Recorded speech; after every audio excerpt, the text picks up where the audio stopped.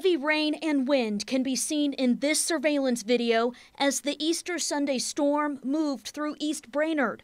The blue flashing lights on your screen is Chattanooga police officer Stephen Johnston in his patrol car.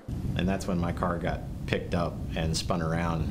Uh, that's when I just I grabbed my PA. I, I, was able to get it in drive. It was still functioning. I grabbed the PA and she started screaming at her, said, "Hey, get inside! Get inside the food city!" Then he turned around and saw a car at a gas pump across the parking lot. A young woman was inside. I ran down there, banged on her window, and said, Hey, get inside now. There's a tornado right there. He helped the woman and others nearby get to the back of the store. They were feet away from the EF3 tornado as it ripped through. And everything just went black. Um, power poles were being snapped in two, and because uh, the tornado was passing right by us. Johnston's body camera captured the destruction moments after the tornado hit.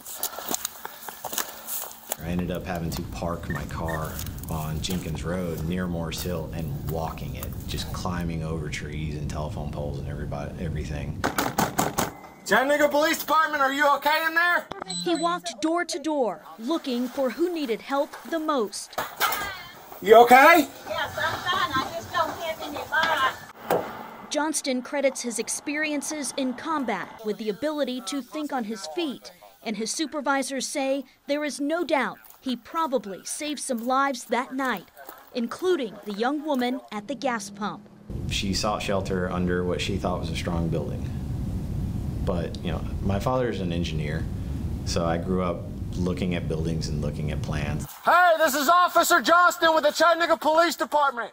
Dozens of police officers, firefighters, and other first responders have stories similar to Johnston's. We may never hear them all, but this video gives us a small glimpse into how noble the men and women are who put others before themselves in terrifying moments.